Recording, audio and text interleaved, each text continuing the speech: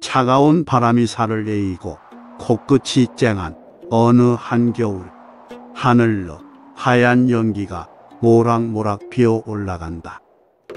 오늘 병으로 죽은 아내의 일년상을 마치고 백진사는 상복과 두건을 불 속으로 던지며 서럽게 흐느낀다. 그 곁에는 이제 14살 먹은 중환이가 불타는 상복을 바라보며 입술을 깨물고 울먹이고 있다. 모든 것을 태우고는 아버지, 그만 들어가요. 날이 너무 추워요. 그래, 중하나. 들어가자꾸나. 내 애미도 오늘은 춥지 않은 곳에서 따뜻하게 우리를 지켜보고 있을 게다.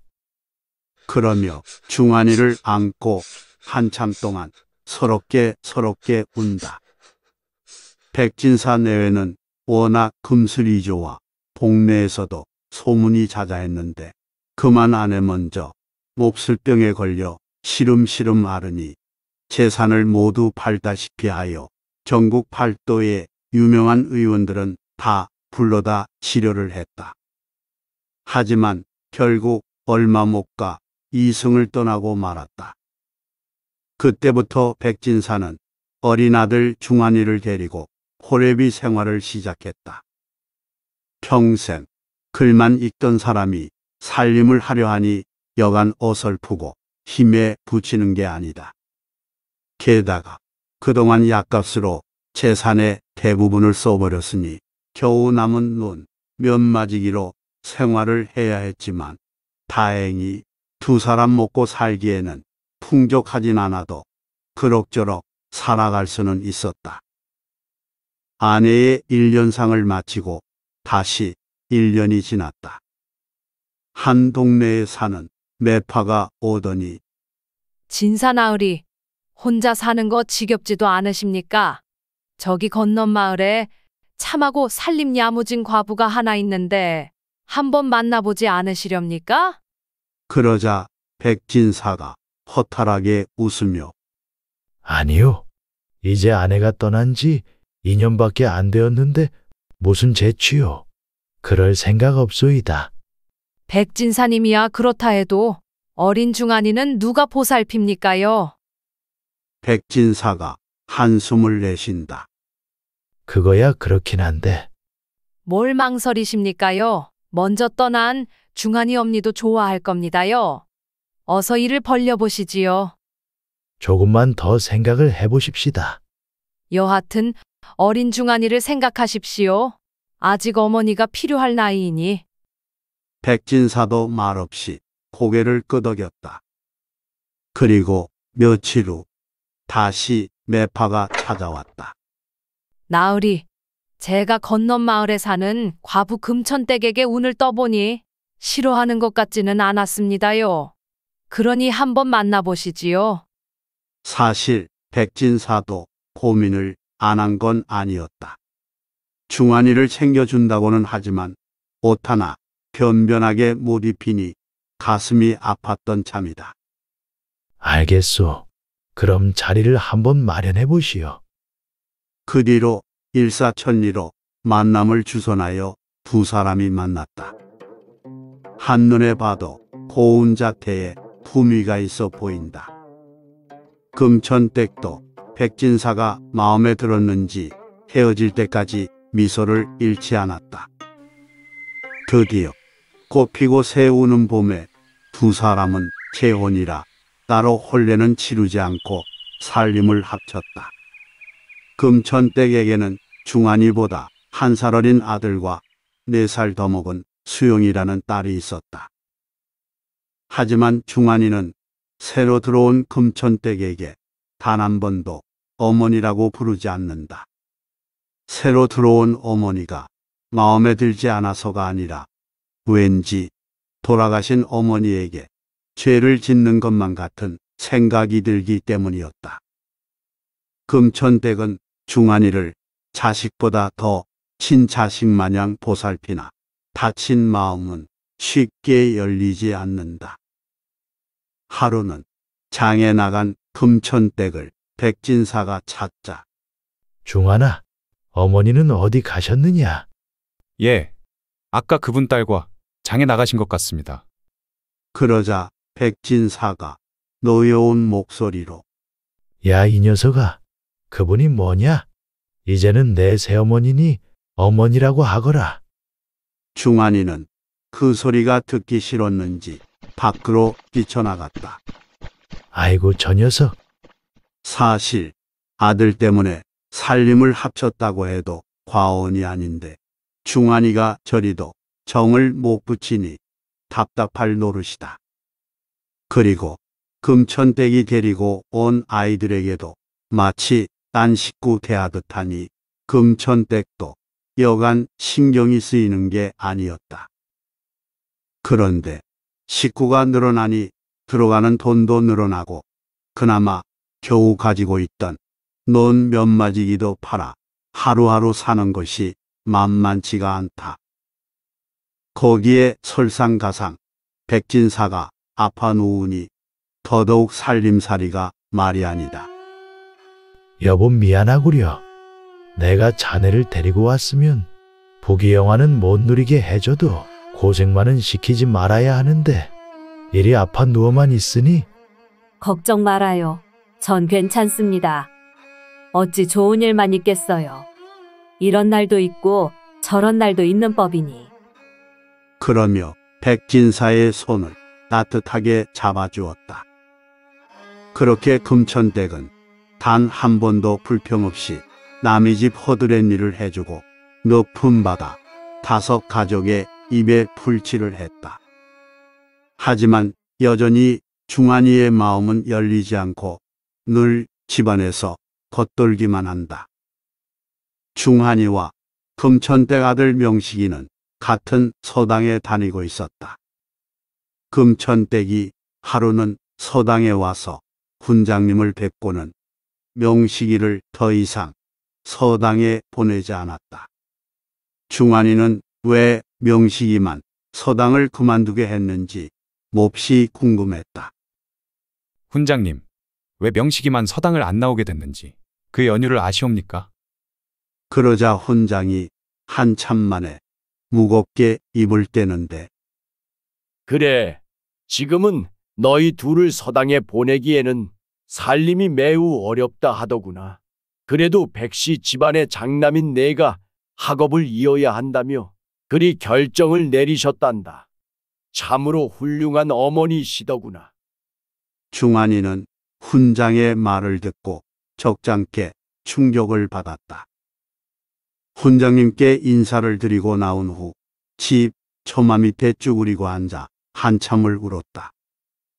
그리고 집으로 가서는 어머니, 서당 다녀왔습니다. 처음 불러보는 어머니였다. 부엌에서 저녁 준비를 하던 금천댁이 행주로 손을 닦으며 뛰어나오더니 감격의 눈물을 흘린다. 오냐, 다녀왔느냐. 고생 많았다. 그러며 중환이의 손을 꼭 잡았다. 두 사람은 말없이 서로를 바라보았지만 하고 싶은 말이 무엇인지 알고 있었다. 중환이는 그 뒤로 동생 명식이 목까지 더욱 더 학업에 전념했다. 아버지가 아파 누워 있으니 남자가 해야 할 일이 산처럼 쌓여 있어 서당에 다녀오면 집안일을 열심히 도와주었다. 그럴 때마다 금천댁은 중하나, 학업에 전념하기도 힘들 텐데 힘든 일은 하지 말거라. 그래요, 형님. 제가 할 테니 형님은 어서 들어가서 책이나 읽으세요. 동생 명식이까지 그리 말하니 가슴이 뭉클해지고 너무나 미안했다. 아닙니다, 어머니. 제가 도와드려야지요. 아니라는데 그러는구나. 넌 이 집안의 기둥 아니니. 그러니 어여 들어가렴. 떠밀리듯 들어온 중환이는 가족이란 것이 어떤 것인지 그 소중함을 절실히 느끼게 되었다. 그런데 어젯밤부터 갑자기 병세가 악화되더니 결국 아버지가 세상을 떠나버렸다. 장례식을 무사히 마치고 가족들은 모두 한 방에 앉아 앞으로 살아갈 일을 의논하였다. 앞으로 중환이가 흔들리지 않고 학업을 이어갈 수 있도록 너희들이 잘 해야 한다. 알겠느냐? 동생과 누이 수영이가 고개를 끄덕인다.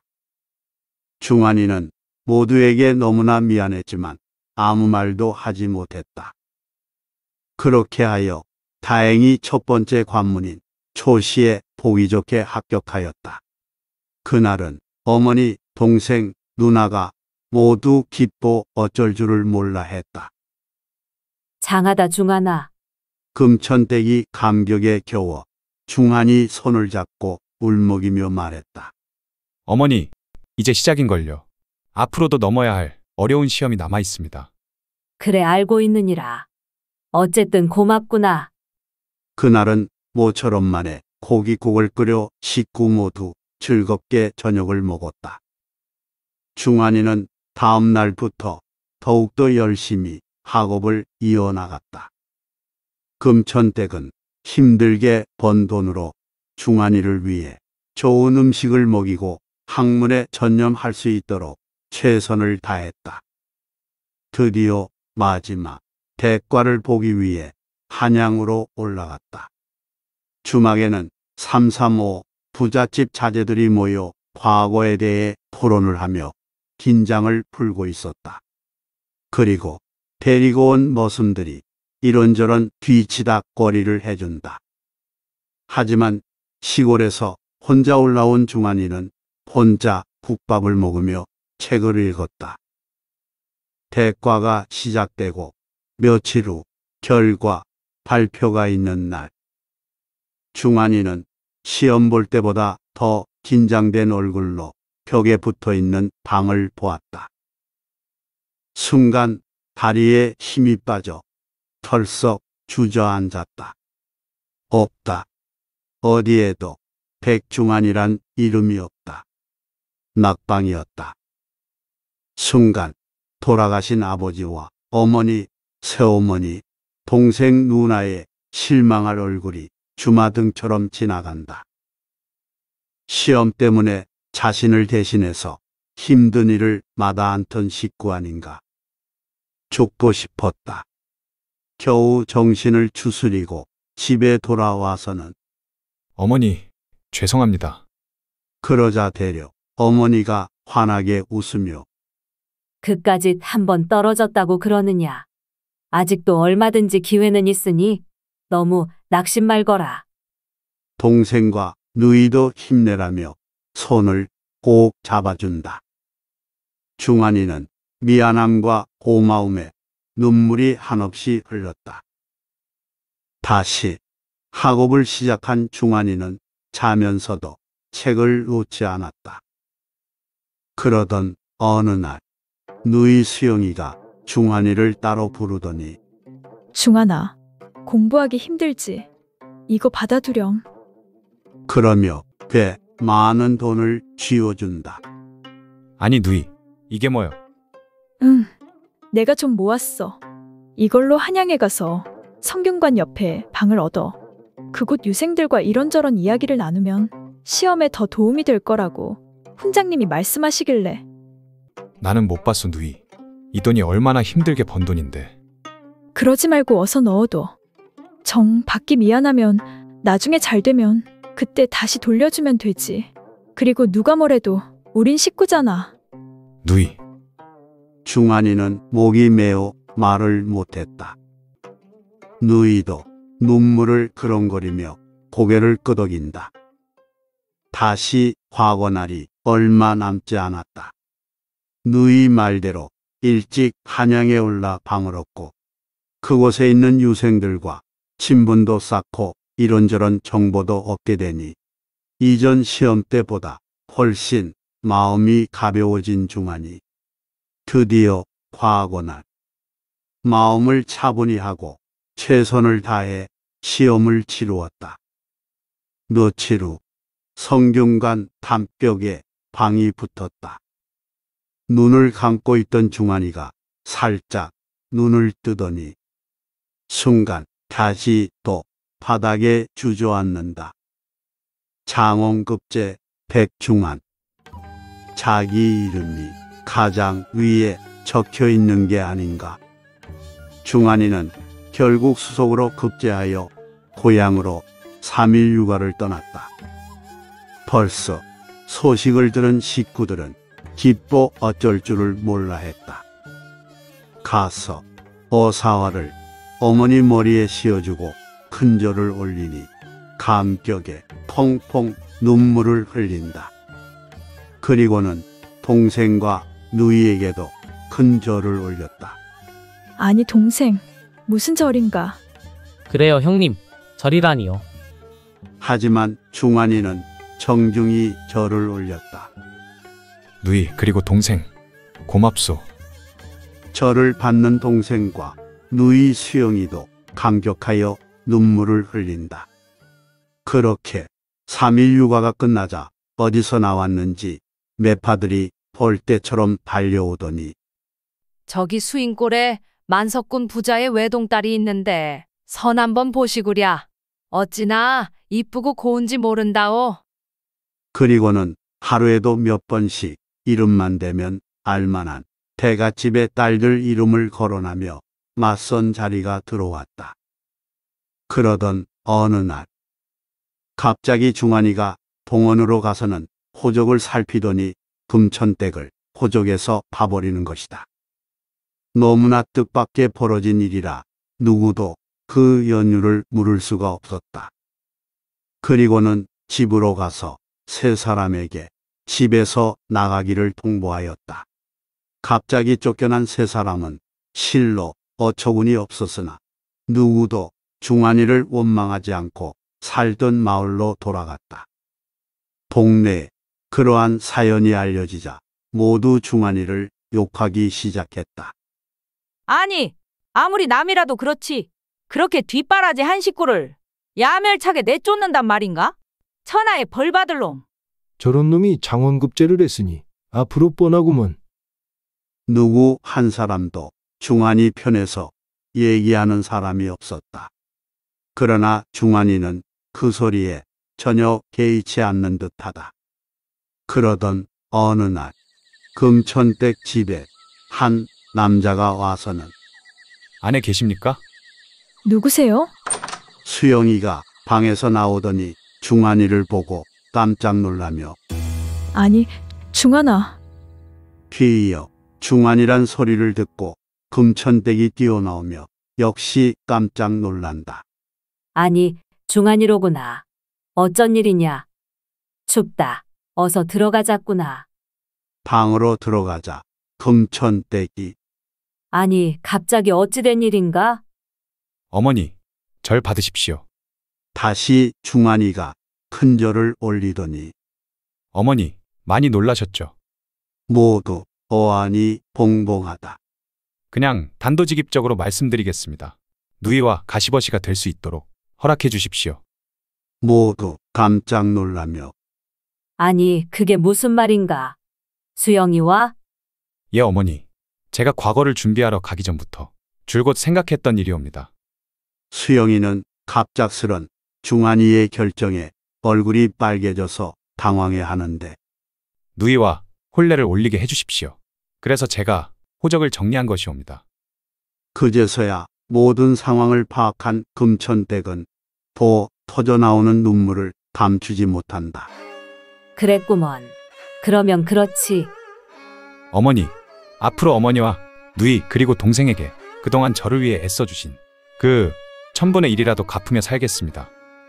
네 사람은 그저 아무 말도 못하고 감격의 눈물만 흘렸다. 여사시오 여 덕순이와 삼룡이가 동네 구석구석을 누비며 엿을 팔고 있다. 둘은 어려서부터 아삼육으로 친형제처럼 지내는 사이이다. 덕순이는 덩치가 산만하여 걸어가는 모습이 마치 커다란 소와 같으며 삼룡이는 작은 체구에 행동이 매우 민첩하다. 성격도 덩치에 어울리게 덕순이는 천하태평 유순한 반면에 삼룡이는 잔머리를 잘 쓰고 약삭 빠르다. 그런데 한 가지가 두 사람의 덩치와 딴판인 게 있으니 그들의 약물 크기이다. 둘이 강에서 멱이라도 감으면 덕순이는 그것을 두 손으로 가리고 움츠려 드는 반면 삼룡이는 보란 듯이 꺼내놓고 덜렁덜렁 흔들며 멱을 감는다. 오늘도 해가 지도록 동네를 돌며 엿을 팔았지만 신통치가 않다. 야, 덕순아. 오늘은 그만 파장오더라고. 제기랄, 엿도 안 팔린 게. 그래, 그만하자. 그나저나 이렇게 안 팔려서 어쩐다냐. 그런 게 말이다. 참, 우리 엄니가 들어올 때 소금 좀 사오라 했는디. 그려. 그럼 사러 가자. 둘은 옆판을 덕순이 집에 팽개쳐 놓고 장으로 향했다. 예전부터 친분이 있는 소금 도매상을 하는 최영감 가게에 도착하여 영감님, 소금 좀 주더라고요. 오냐 알겠다. 그려 엿은 좀 팔린겨. 아니요. 두 가닥이나 팔았는가 모르겠어요. 두 놈이 장사하면서 그렇게 팔면 안 되지. 그런 게 말이여요. 그럼 소금을 팔아보면 어쩌다냐? 예, 소금이요. 그려 사시사철 소금은 필요하니께 내가 좋은 값에 대줄 테니 한번 해보든가. 둘은 서로 얼굴을 쳐다보며 고개를 끄덕인다. 그럼 한번 해볼까요? 그려 잘 생각했다. 당장 내일부터라도 시작해봐. 둘은 다음 날부터 옆판 대신 소금 가마니를 지게에 지고 장사를 시작했다. 물론 덩치가 큰 덕순이는 두 가마니를 지고 왜소한 삼룡이는 한 가마니를 지었다. 그렇게 시작한 소금 장사는 엿장사보다는 힘이 들었지만 돈벌이는 훨씬 좋았다. 그러나 겨우 한 가마니 지고 파는 삼룡이는 덕순이에 비해 수입이 작으니 그것이 좀 불만이다. 하루는 날이 너무 더워 소금찌개를 내려놓고 오은교 다리 밑으로 가서 멱을 감았다. 어찌나 시원한지 한참을 물장구를 치며 놀고 있는데 다리 위에 한 여인이 서서 둘을 뚫어지게 바라보고 있다. 야, 삼룡아. 저 아줌매 아는 사람 있냐? 아니 모르는디. 아까부터 계속 여길 쳐다보는디. 그러니께 삼룡이가 그 부인을 쳐다보자 다시 바쁘게 걸음을 재촉하는 여인. 두 사람은 곧 물에서 나와 몸을 닦고 장터를 향해 바쁘게 걷기 시작했다. 오늘은 오일장이 열리는 날이다. 각 고을에서 몰려든 장사꾼들이 저마다 자리를 잡고 큰 소리로 호객을 한다. 자 소금 사세요 소금. 삼룡이도 큰 소리로 외치기 시작했다. 이 소금 얼마요? 곁에 섞인 목소리로 묻는 여인이 있어 고개를 드니 서른이나 되었을까 한 예쁘장하게 생긴 여인이 생글생글 웃으며 소금값을 묻는다. 예, 한 대박에 두 냥입니다요. 그러면 두 대빵만 주시구랴. 예, 삼룡이는 냉큼 두 대박을 한지 봉투에 담아준다. 이름이 뭐요? 예? 지 말씀인가요? 그녀가 고개를 끄덕이니 삼룡이라고 하는디요. 삼룡이라. 그녀는 알 수 없는 표정을 짓더니 총각. 그럼 이따 장사가 파하거든. 저기 저 모퉁이를 돌면 박물 가게가 있으니 잠시 들렸다 가시구랴. 예? 갑작스런 그녀의 말에 당황한 삼룡이 이따가요? 그래요. 장사 끝내고. 예, 알겠습니다요. 옆에 서 있던 덕순이가 고개를 갸우뚱하며 잠깐. 저 아줌매 아까 우리 몇 감을 때 어금교 다리에서 우리 쳐다보던 여자 아니더라고? 그려? 그러고 본게 그런 것 같기도 하고. 근데 왜 나를 박물 가게로 오라는 건지 모르겠구먼. 이따 끝내고 같이 가자. 그려. 둘은 해가 지자 남은 소금을 지게에 싣고 묘령의 그녀가 말한 박물 가게로 갔다. 그곳에는 아까 왔던 여자와 주인으로 보이는 나이 지긋한 여자가 앉아 있더니 반갑게 두 사람을 만난다.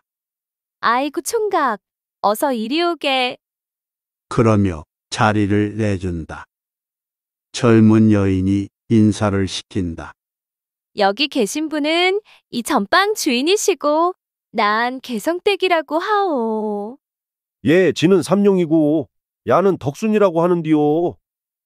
갑작스레 뜬금없는 통성명이 끝나고 잠시 어색한 시간이 흘렀다. 그때 주인 여자가 물었다.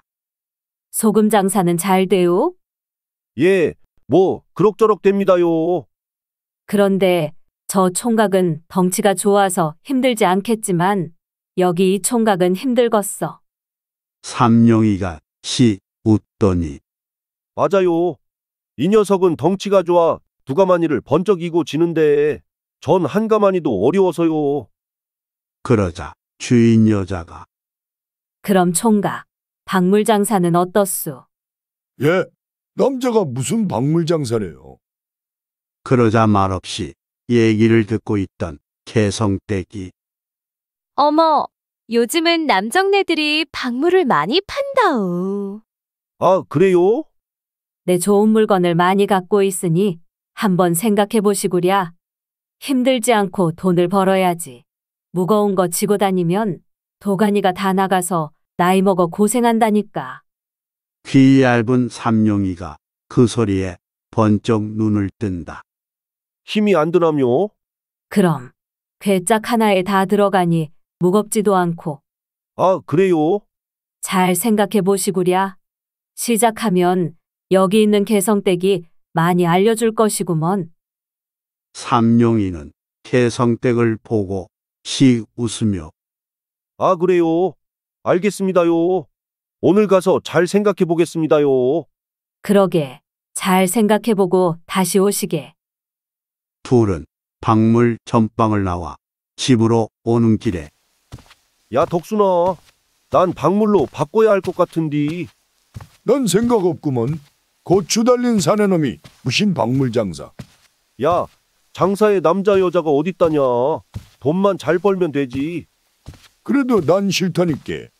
그러고 삼룡아, 자꾸 사람들 말만 듣고 그렇게 쉽게 장사를 바꾸면 어쩐다냐.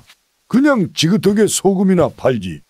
그러고 돈 벌면 전빵이라도 하나 차리고 말이오. 아니요. 난 박물로 정했다니까. 그래, 네 맘대로 해보더라고. 다음 날 삼룡이는 혼자 박물집으로 갔다. 아이고, 총각 왔는가? 잘 왔구먼. 어제 그 친구는 예, 가는 그냥 소금만 판다고 합니다요. 그려 알겠네. 사실 그 친구는 박물이 안 맞아. 덩치도 산만해서. 그럼 내가 박물을 내줄 것인 게 한번 잘 팔아보게. 아참 그리고 어제 같이 있던 개성댁 집을 알려줄 테니께 한번 가보게나. 도움이 많이 될 것이요. 쇠뿔도 당김에 빼랬다고 이따 들려보게나. 예, 알겠습니다요. 그렇게 해서 박물을 바리바리 담아 개성댁 집으로 향했다. 일곱 칸 기와집이다. 계십니까요? 누구요? 방에서 나오는 개성댁이 반갑게 미소를 짓더니 어서 오시게. 내올줄 알았지. 어서 들어오게. 친구는? 예, 그 친구는 그대로 소금을 팔겠답니다요. 그래? 그거 잘 됐네. 사실 그 친구는 하더니 말을 묶는다. 개성댁은 사실 시집간 지 1년 만에 애를 낳지 못해 소박을 맞고 이곳에서 하녀 한 명과 살고 있었다. 그녀는 일찍 육합에 눈을 떠 그것에 관심이 이만저만이 아니다. 대놓고 하지는 않았지만 이미 거울에서 힘께나 쓰는 총각 유분함과 합을 치르지 않은 사람이 없을 정도로 밝혔다. 며칠 전 두 사람이 오금교에서 멱을 감을 때 삼룡이의 거군을 보고 넋이 빠져 있던 것도 사실은 우연이 아니었다. 이미 삼룡이의 거군은 소문이 나 있어서 유심히 지켜보던 차에 다시금 확인을 한 것이었다. 그래. 자네 장가는 안 갔을 터이고. 그럼 그것은 어찌 푸는가? 예? 삼룡이가 깜짝 놀라 물으니 뭘 그리 놀라는가? 자네 나이면 다 알고도 남음이 있지 않은가? 얼굴이 빨개진 삼룡이가 말을 더듬으며 그냥 혼자 용도질이나. 내 그럴 줄 알았네. 하며 큰 소리로 웃는다. 귀까지 벌개진 삼룡이가 얼굴을 못 뜨니 곁으로 다가앉더니만 삼룡이의 양물을 툭 치며 이보게. 역시 자네는 타고난 귀물일세. 정말 대단해. 그러며 그녀의 손길이 스치고 지나가자 더욱더 성이 난 삼룡이의 양물이 바지를 뚫을 것만 같다. 겨우 다리를 꼬고 몸을 비틀자 개성떼기 괜찮네. 남정네가 그 정도 반응이 없으면 사내가 아니지. 여보게, 내가 자네 부자로 만들어줄 테니 내 말만 잘 듣게. 알겠나? 삼룡이는 부자로 만들어준다는 소리에 또다시 귀가 번쩍 뜨여 진짜 부자가 될 수 있습니까요? 물론이지. 그러면 오늘부터 내 사랑방을 하나 내줄 테니 거기서 지내도록 하게. 알겠나? 예? 오늘부터요? 그래. 오늘부터 나한테 배울 것이 많네. 아, 예. 알겠습니다요. 느닷없이 거처가 바뀐 삼룡이는 모든 게 얼떨떨했다. 어느덧 밤이 되자 하녀가 와서는 여보시오, 마님이 잠시 뵙자고 하십니다. 불이 나게 안채로 달려간 삼룡이 부르셨습니까? 어서 들어오게. 안으로 들어가니 속옷만 입고 앉아있는 개성때 어서 앉게. 차마 눈도 못 마주치고 고개를 숙인 삼룡이를 가까이 오게 하더니 부드럽게 기롱을 한다. 여보게, 자네 혹시 방중술이라 들어봤는가? 예, 들어는 봤습니다요. 그래, 그것이 얼마나 신묘한지 내가 알려줄 터이니 잘 따라 배우게. 삼룡이는 손이 떨리기 시작하고 가슴이 터질 것만 같았다. 떨지 말게. 그러며 부드럽게 삼룡이의 허물을 벗기기 시작했다. 마침내 성난 불을 보더니 역시 내가 생각한 그대로구만. 훌륭하고 놀랍네. 개성댁은 황홀한 표정으로 몸을 활처럼 휘더니만 그리고는 잠시 후 본격적인 방중술 공부가 시작되었다. 삼룡이는 난생 처음 해보는 기술에 몇 번이나 숨이 넘어가는 줄 알았다. 입에서는 자신도 모르게 깊은 탄식이 새어나오고 개성댁은 땀을 뻘뻘 흘리며 삼룡이를 요리하기 시작했다. 이리 눕혔다 저리 눕혔다 이렇게 해라 저렇게 해라 삼룡이는 정신이 하나도 없다. 겨우 두 식경 만에 개성댁의 가느다란 탄식과 함께 끝이 났다. 나란히 누운 두 사람은 숨을 헐떡이며 어땠는가? 예, 말을 못하겠습니다요. 그렇게 일합이 끝나고 잠시 후 다시 이합을 치룬다.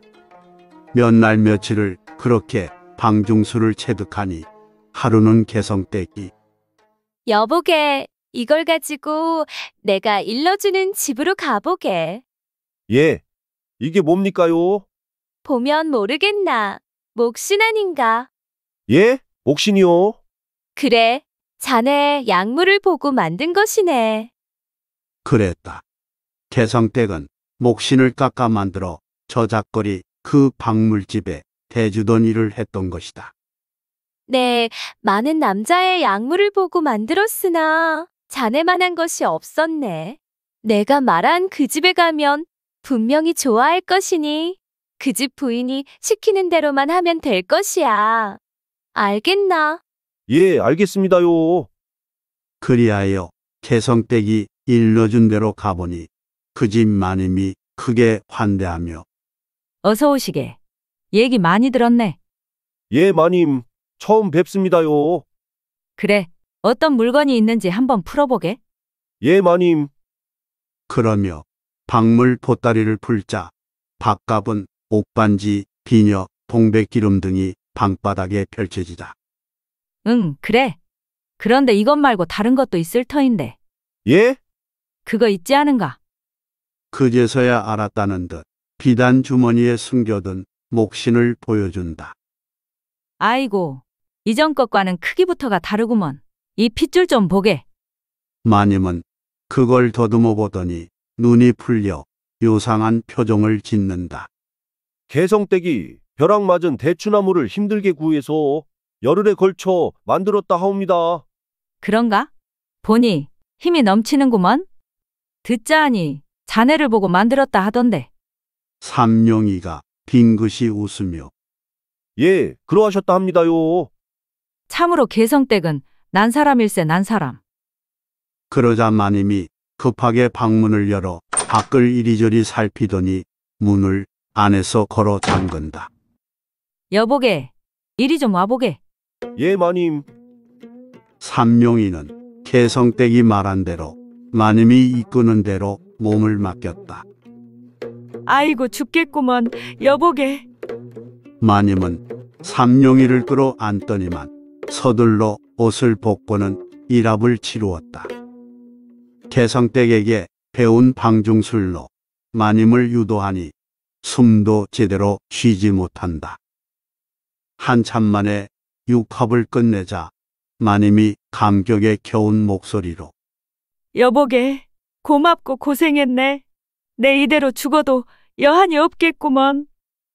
그러더니 문갑에서 전대워 비단 주머니를 꺼내더니 삼룡이에게 건네준다. 자, 이 전대는 자네가 갖고 이 주머니는 개성댁에게 전해주게. 예, 알겠습니다요. 그 집을 나와 전대 주머니를 열어보니 삼백냥은 좋게 돼 보였다. 삼룡이는 기분이 좋아 전대를 돌리며 집으로 돌아왔다. 마님, 이거 전해드리라던데요. 응, 알았네. 수고했네. 삼룡이가 돌아가고 개성댁이 비단 주머니를 열자 많은 돈이 들어있다. 그 뒤로도 삼룡이는 개성댁이 일러주는 집에 가서 목신을 팔고 자신의 약물도 파니 돈이 괴짝에 쌓이기 시작했다. 물론 개성댁에게는 더 큰 소개비가 들어갔다 하지만 돈이 쌓이면 쌓일수록 삼룡이의 몸은 장작개비가 되어간다. 말랐던 몸이 더욱더 마르니 상대적으로 약물은 더 크게 부각이 된다. 모처럼 덕순이를 만난 삼룡이가 거드름을 피며 덕순아, 오랜만이다. 그래, 오랜만인데 왜 이리 말랐다냐? 그건 그렇고 소금은 잘 팔린다냐. 응, 그럭저럭 팔리지. 야, 언제까지 그까지 걸로 돈을 벌겠냐? 오늘 내가 한턱 낼 테니 요리집으로 가자. 그러더니 비싼 노비아니 집으로 데리고 가서는 여기 너비아니하고 가장 좋은 술 좀 갖고 오시오. 야, 여기 겁나게 비쌀 텐디. 괜찮겠냐? 돈 걱정하지 말래도 그러는겨. 삼룡이와 덕순이는 그날 코가 비뚤어지도록 먹고 마셨다. 그렇게 요상한 박물 장사를 시작한 지 한 해 만에 삼룡이는 빗속 골아서 박물 괴짝은커녕 보찜 하나도 들 기력도 없다. 그렇게 많은 여인네와 쉼없이 정분을 나누었으니 기력이 남아날 리가 없다. 매일 골골하며 사랑방을 차지하고 있으니 하루는 개성댁이 여보게, 자네 이제 이 집을 나가줘야겠네. 예? 나가라고요? 그래, 자네도 이제 벌만큼 벌었으니 나가서 뭐든 새로 시작해보게. 그리고는 잠시 후 한 청년이 들어오는데 어쩌면 그리도 처음 이 집에 들어올 때 자신과 비슷하게 생겼는지 깜짝 놀랐다. 여보게 왔는가? 오늘부터 이 방을 쓰면 되네. 예, 마님. 삼룡이는 개성댁에게 심한 배신감을 느끼며 집을 쫓겨나왔다. 아무런 준비도 없이 나왔으니 당장 갈 곳이 마땅치 않은 삼룡이는 덕순이 집으로 갔다. 추고가는 목소리로 덕순아, 나왔다. 아니 삼룡아, 이게 뭔 꼴이다냐? 어서 들어오거라. 이불을 깔아주니 힘겹게 자리에 눕는다. 야 삼룡아, 이게 무슨 꼴이다냐? 힘에 겨운지 말을 못하는 삼룡이 덕순이는 당장 기어가서 의원을 불렀다. 의원이 한참 진맥을 보고 살피더니 아니, 어떻게 지금까지 살아있는 게 용하구먼. 이리 기력이 다 쇠진한 사람은 처음 보네. 어찌 젊은 사람이 이리도 망가졌는가? 내일 오면 내가 약을 지어줄 테니 다시 들리게. 예 의원님. 하지만 그날 밤 삼룡이가 숨을 헐떡거리더니 덕순이에게 덕순아, 내가 네 말을 들었어야 했는디 그 여시 같은 개성댁한테 홀려서 몸이 이 지경이 됐으니 그러더니 짧은 숨을 한 번 거칠게 내쉬고는 고개를 툭 떨구었다. 스물두 살 젊은 나이에 무서운지 모르고 몸을 함부로 써댄 삼룡이는 결국 불기의 객이 되고 말았다. 과유불급이라 했던가. 엄격한 유교 집안에서 태어난 고진사는 늘 행동이 바르고 점잖은 선비이다. 하루는 고진사가 에헴 헛기침을 하며 대청을 내려오는데 마당을 쓸던 마당새 덕파리가 얼른 뛰어와서는 가죽신을 고진사 앞에 가지런히 놓는다. 나으리 어디 행차하시옵니까? 오냐, 오늘 잠시 지필목점에 다녀오려고 한다. 그럼 소인 앞장설 값쇼. 아니다. 오늘은 내 혼자 다녀오련다. 예, 알겠사옵니다, 나으리. 대문을 나서는 고진사. 오늘따라 평소 외출 시와는 다르게 옥색 비단 도포에 가죽 신을 멋들어지게 신은 게 예사로운 외출은 아닌 듯 싶다. 불과 한 달 전에 북과 벼루를 사서 당장은 필요 없음에도 저작거리로 향하는 고진사. 사실은 북과 벼루가 목적이 아니다. 한 달 전에 북과 벼루를 사러 늘 다니던 최영감네 지필묵점에 갔을 때 영감이 입이 대빨로 나와서 불평을 하는데 아이고, 저 길 건너에 웬 호랑말코 같은 여편네가 와서 지필묵을 팔아대니 부하가 나서 못 견디겠습니다요. 같은 저작거리에 똑같은 물건을 팔아대서 어쩌자는 건지. 그 소리를 들은 고진사는 갑자기 그곳이 궁금해졌다. 여인네가 북과 벼루를 파는 일은 흔하지 않기 때문이다.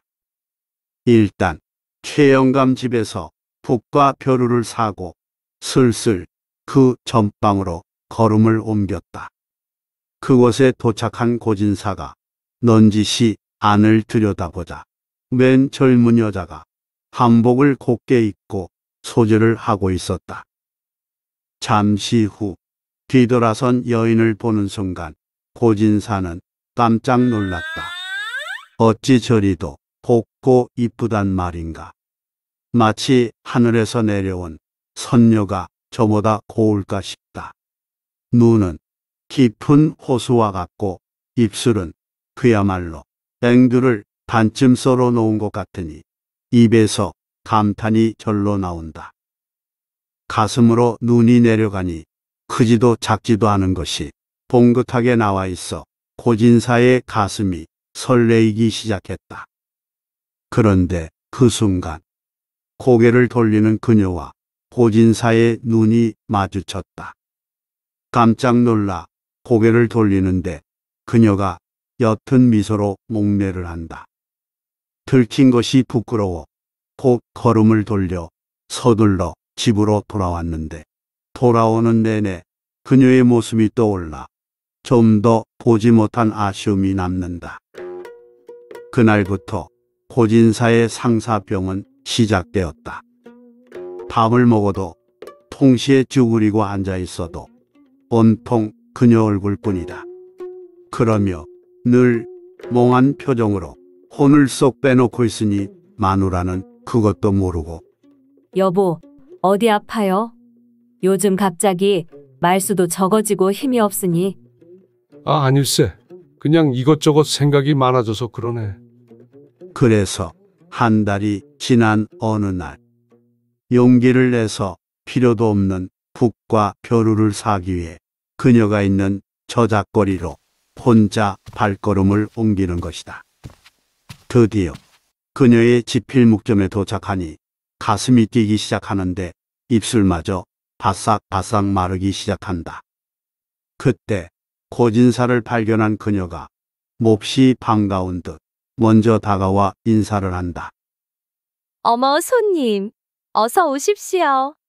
고진사는 큰 기침을 한 번 하고는 전방 안으로 들어간다. 에, 그러니까. 손님, 일전에 한 번 뵌 일이 있지요? 맞죠? 그녀가 묻자 고진사는 고개만 끄덕이고는 어서 오시어요. 왠지 다시 오실 것만 같은 생각이 들어 기다리고 있었습니다. 그러며 눈웃음을 치는데 가슴이 벌렁거리기 시작한다. 떨리는 목소리로 그, 그래. 북과 벼루 좀 봅시다. 아, 네, 잠시만요. 그러더니 선반에 올려졌던 것을 꺼내며 이것 한번 보시지요.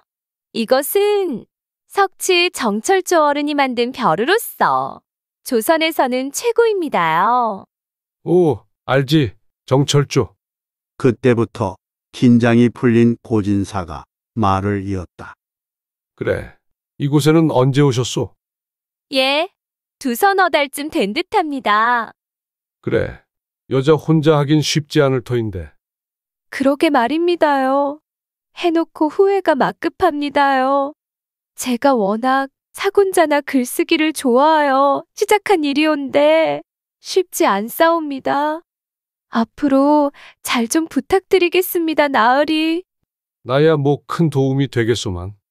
그래도요. 그래. 이 벼루는 얼마요? 예, 그것은 좀 값이 나가기는 한데 어쩌나. 괜찮소. 말해보시오. 예, 300냥이옵니다.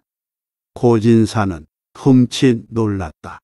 보통 벼루의 열 배나 하니 그러나 대수롭지 않은 듯 그렇지. 정철조의 벼루이니 그 정도 하겠지. 싸주시오. 계획에도 없는 큰 지출이다. 아이고, 역시 물건이 주인을 제대로 만난 듯 하옵니다. 고진사는 속으로 그래. 300냥이면 당연히 비싸지. 벼루를 정성스럽게 싸던 주인 여자가 말했다. 나으리 괜찮으시면 차 한잔 하시겠습니까? 차요? 좋지요. 그럼 잠시만요. 마저 벼루를 싸고는 고진사를 안내하여 별실로 들어갔다. 좁기는 하였지만 둘이 차를 마시기에는 적당했다. 그런데 벽에 목으로 그린 풍속화에 사군자가 걸려 있고 막 쓰다 멈춘 듯한 글이 바닥에 놓여져 있다. 필체가 참으로 좋소. 대단합니다. 아닙니다. 부끄럽습니다. 많이 부족하오니 욕하지 마시옵소서. 아니요, 진심이요. 대단한 필체 올시다. 그리고 벽에 걸린 이 사군자는 정말 보기 드문 작품인데 내가 사도 되겠소? 아닙니다, 나으리. 볼품없는 것을 그리 높게 말해주시니 부끄럽기만 하옵니다. 아니요. 이건 내가 꼭 사야겠소. 대단한 그림이요. 그런데 당장은 내가 가진 것이 없으니 조만간 찾아와서 값을 지불하겠소. 아닙니다, 나으리. 그러지 마십시오. 둘은 차를 마시며 이런저런 담소를 나누고는 헤어졌다. 집에 돌아온 고진사는 더욱더 그녀가 보고 싶어졌다. 결국 참지 못하고 다음 날 다시 찾아갔다. 어머, 어서 오세요, 나으리. 역시 살갑게 맞이하는 그녀. 내 어제 가지고 간 사군자 값을 치르려고 왔소. 어머, 나으리. 앉으셔도 되옵니다. 그까짓 습작이나 진배 없는 그림을 사주시다니요. 괜찮습니다요. 아니요. 내가 적당히 쳐서 넣었소. 그러며 돈이든 비단 주머니를 건네주었다. 천냥이면 되겠소. 그녀는 깜짝 놀라더니 어머머, 천냥이라니요. 말도 안 됩니다요. 어서 거두어 주십시오. 아니요. 충분히 그만한 가치가 있는 그림이니 어서 받으시오. 그녀는 한사코 거절했지만 결국 돈을 받아들고는 제가 이처럼 큰 돈을 받았으니 술 한 잔 올리겠습니다요. 나야 좋지만 일부러 그럴 필요는 없소이다. 아닙니다. 잠시만 기다리십시오. 그리고는 밖으로 나가더니 잠시 후 술을 한 병 들고 왔다. 밖에 나갈 곳이 아니라 여기서 한 잔 드시는 게 어떠시옵니까? 좋소. 번거롭게 나갈 필요까지 있겠소. 여기서 드십시다. 그녀는 곧 전방문을 안에서 잠갔다. 그러자 어두컴컴해진 전방 안 호롱에 불을 붙이니 아늑하게 바뀌었다. 고진사는 또다시 심장이 두근두근 대기 시작했다. 자, 한잔 하시지요, 나으리. 고맙소. 우리 주인 양반도 한잔하시오. 어머, 저는 원래 술을 못 타온데 오늘만 한잔 하겠사옵니다. 그러며 한 잔을 들이키니 살짝 찡그리는 얼굴이 너무나 사랑스럽다. 자, 한 잔 올리겠습니다. 술이 몇 순배 돌아가자 그녀의 얼굴이 벌개지고 부끄러운 듯 손으로 얼굴을 가리며 보십시오. 제가 못한다 했지 않사옵니까? 아니요. 보기 좋소. 고진사가 껄껄껄 웃었다. 술 한 병이 다 비워져 갈 즈음 술 기운이 올라오니 용기가 생긴 고진사. 내 오늘 이렇게 같이 술을 마시니 참으로 기분이 좋소이다. 네, 소녀도 그렇사옵니다. 그 순간 고진사가 벌떡 일어나더니 그녀 옆으로 가서 입을 맞춘다. 그녀 입에서 달콤한 복숭아 향이 났다. 다행히 그녀도 거부하지 않고 고진사를 받아들였다. 한참 입을 맞추던 고진사가 손가락을 그녀의 입에 넣어 부드럽게 움직이니 그녀의 짧은 탄식이 흘러나온다. 사랑의 작은 몸짓이 어느 정도 무르익자 그녀는 용트림을 하며 고진사의 목을 끌어안았다. 나으리, 이러시면 아니 되옵니다. 말은 그렇게 하나 당기는 그녀의 손이 더욱더 강하게 고진사를 잡아당겼다. 한참 그렇게 온몸을 희롱하던 고진사가 마지막 행사를 위해 옷을 벗기려는데 그 순간 그녀가 어머, 잠시만요.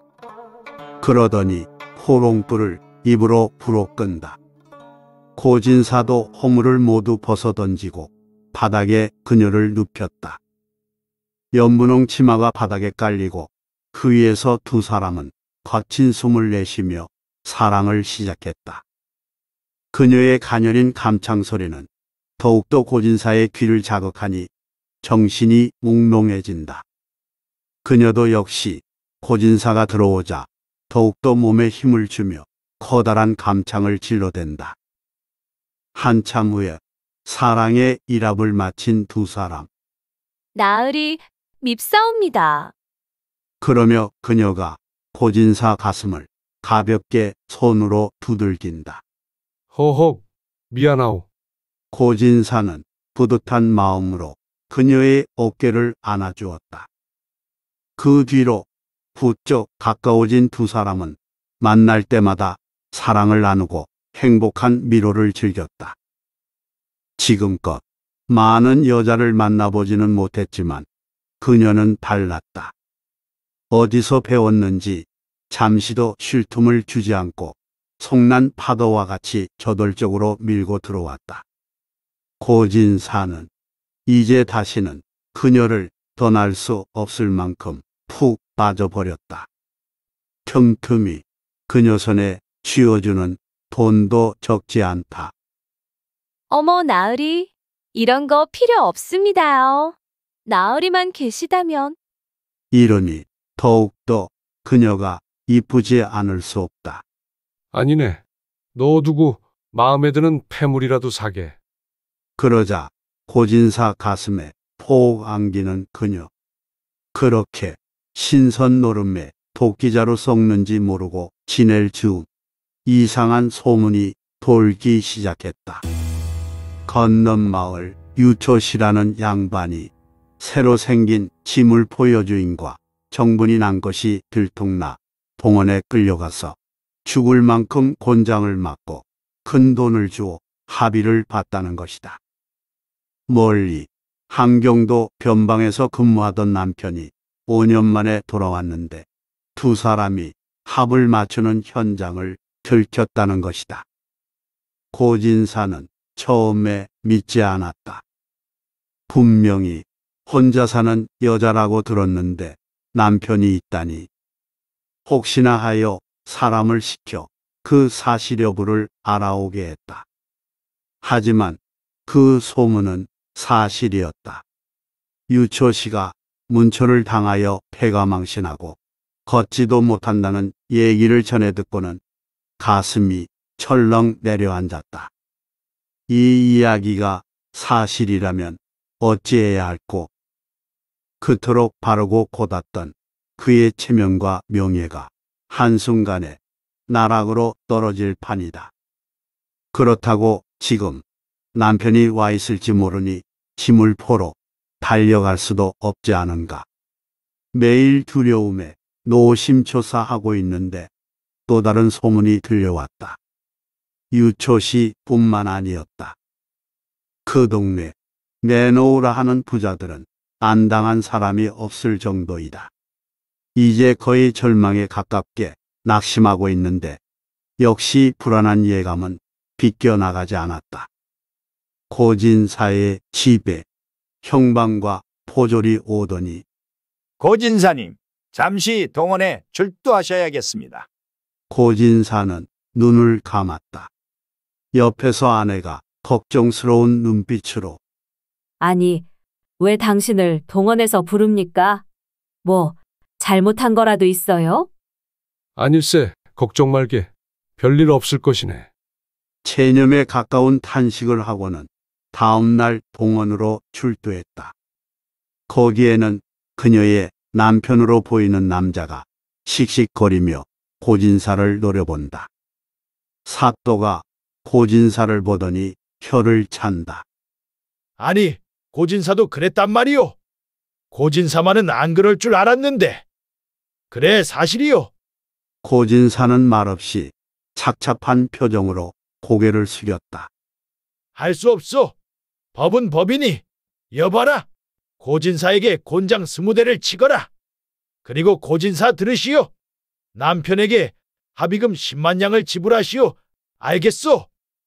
고진사는 참담한 심정으로 눈물을 뚝뚝 흘리며 알겠노라 대답을 한다. 여자를 한 번 안아본 대가로는 너무도 크고 처절했다.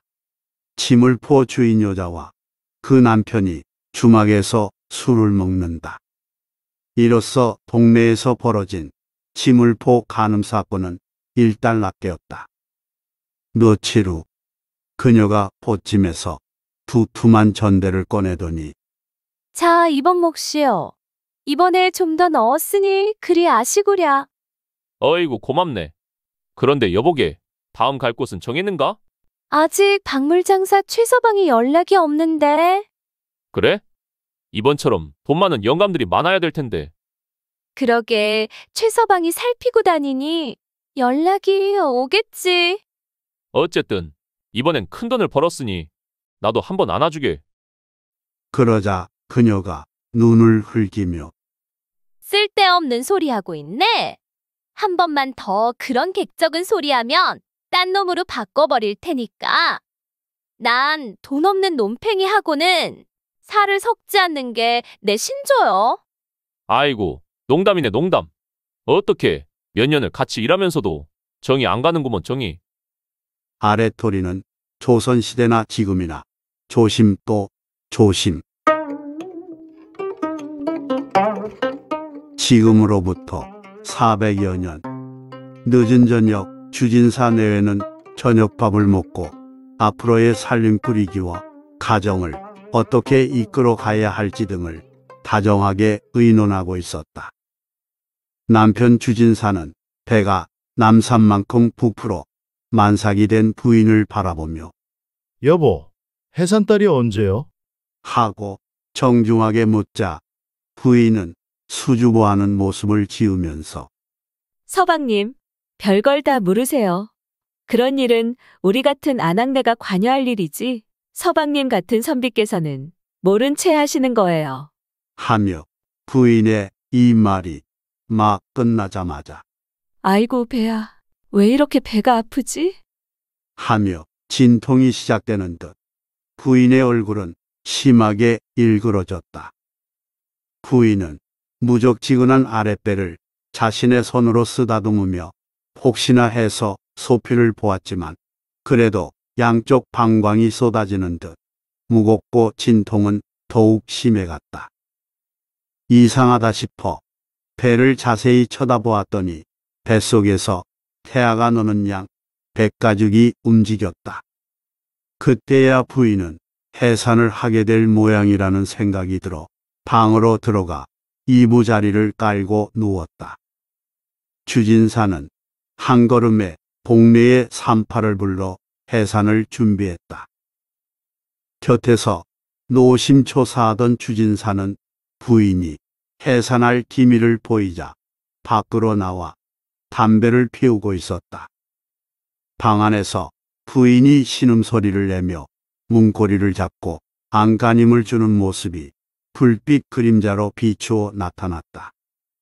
부인이 그렇게 몸부림을 치자 밖에 있던 주진사는 어쩔 줄 모르고 발만 동동 굴리고 있는데 갑자기 응애응애 하는 힘찬 아기 울음소리가 유난스럽게도 카랑카랑하게 울려 퍼졌다. 주진사는 아기 울음소리가 힘찬 것으로 보아 사내 아이구나 하는 생각을 하였으나 실은 바로 저 유명한 농개가 탄생되는 순간이었다. 농개가 태어난 해는 갑술년으로 음력 9월이라서 달의 상징인 간지도 갑술이고 그날이 마침 9월 9일이었으므로 나온 날짜의 간지도 갑술이며 나온 시간이 밤 8시 종반이라 역시 갑술이 되는 그러니까 농계의 사주 팔자가 갑술년 갑술월 갑술일 갑술시 등으로 갑자넷과 술자넷으로만 구성된 것이다. 이를 주역 8개로 작계를 해보면 진위 외계로 엄청나게 강한 팔자였다. 이렇게 희귀한 사주 팔자를 지니고 태어난 농계가 부모의 사랑을 흠뻑 받으며 자라 어원 13살의 나이가 되었을 때 공교롭게도 부친이 병으로 세상을 떠나가 버리자 두 모녀는 당장 기니 이을 걱정에 할 수 없이 숙부집에 들어가게 되었다. 워낙 농계의 미색이 뛰어나고 언행이 단정하여 많은 사람들이 칭찬을 아끼지 않았다. 그러나 재물에 남다르게 욕심이 많은 작은 아버지는 농계를 이웃 마을 부잣집 며느리로 내줘버렸다. 농계의 신앙은 사람 노릇을 도저히 할 수 없는 백치의 간질병 환자였다. 기가 막힌 농계는 이왕에 시집을 온 이상 마음을 굳게 먹고 잘 살아보려고 노력했지만 날마다 발작을 하는 신랑 병세를 더 이상 보고 있을 수 없는 참담한 상황이었다. 고통에 견디다 못한 농계는 울며 불며 맨발로 외가의 피신에 가기에 이르렀다.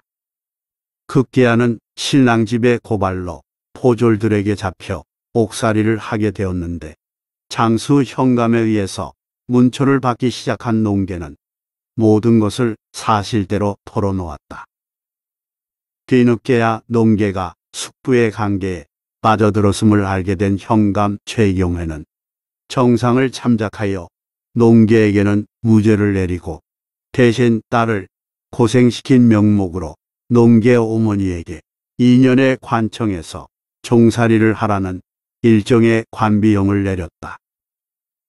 갈 곳이 없게 된 농계는 현감 최경회의 보살핌으로 그의 집에서 기거하게 되었다. 친부녀처럼 생각하고 살아가던 두 사람에게 큰 변화가 일고 있었다. 그것은 농계 나이 19살이 될 무렵 공교롭게도 최경회의 부인이 몸져 눕고 얼마지 않아 그만 병으로 세상을 떠나고 만 것이다. 갑작스런 부인의 임종으로 집안 살림이 어지러워지자 농계는 기꺼이 존경하던 최경회의 부실이 되었다. 최경회도 늘 농계를 딸처럼 아끼고 사랑해줬고 농계도 나름대로 행복한 일상을 보내고 있었다. 그러나 농계에게 내려진 운명의 장난은 그것으로 끝나지 않았다. 한 여자로서 행복하게 살아가던 농계에게 엄청난 충격의 비보가 날아들었다. 인지내란의 국난이 있자 최경회는 경상우도 병마절도사로 임정케 됐는데 그만 진주 성싸움에서 장렬한 전사를 하고 말았다. 남편의 전사 비보를 받은 농계는 그 자리에서 졸도를 하고 말았다. 잠시 후 눈을 뜨고 가눌 수 없는 슬픔에 비장한 각오를 했다. 남의 나라를 침략한 외놈들 두고 봐라. 이 소첩이 서방님의 원수를 갚고 말 것입니다. 라고 크게 분노를 하며 복수의 날을 기다렸다. 때마침 7월 7석을 맞은 외장들은 촉성루에서 승전을 기념하는 대연회를 베풀고 흥청망청 놀고 있었다.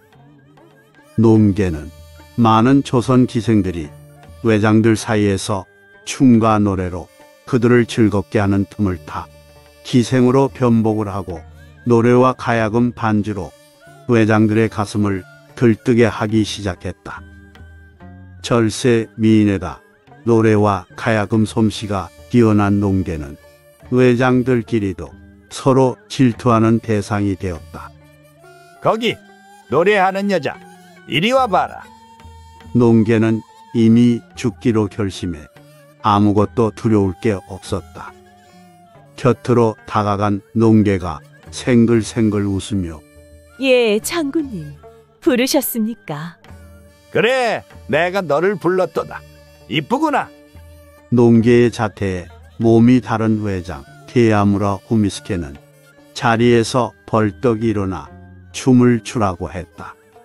농계는 마음속으로 이놈, 너는 오늘이 제삿날이다. 타양 이국만리 와서 죽는 게 불쌍하기도 하나 서방님의 원수를 갚고 나라를 구하기 위해선 어쩔 수 없다.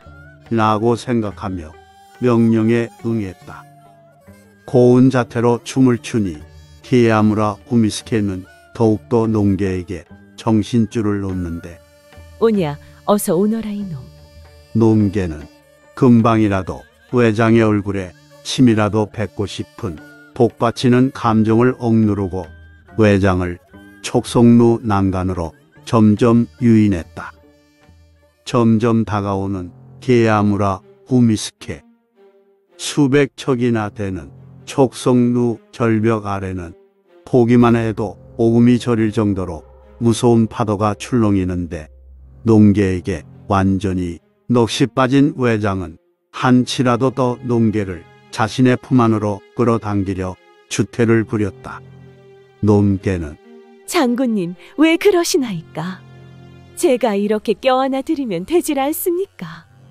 하면서 있는 힘을 다하여 외장을 껴안고는 재빠르게 외장을 난간 쪽으로 위치를 바꾸어 복수의 계력을 다해 밀어붙였다.